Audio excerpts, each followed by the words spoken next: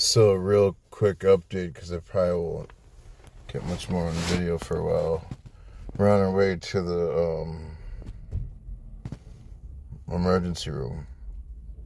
So, I'll uh, try to explain after a little while um, more about what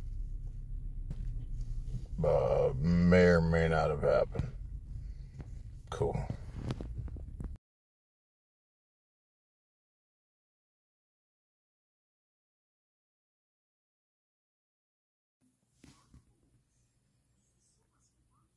Hey, so uh obviously not in the emergency room anymore. Today's uh January 13th, couple days later.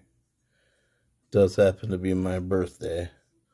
So I'm just kind of relaxing at home, but wanted to give like a quick update as to I knew exactly what happened, when it happened, when the four wheeler rolled. And of course, I'll do some subsequent subsequent substance on on that later. But anyway, what you see me playing with in my hand here is part of the problem. I was putting new brakes on it, and uh, I will explain in a later video why this brand new brake lever in my hand um, comes into play, and it's pretty funny. So stick around. Thanks.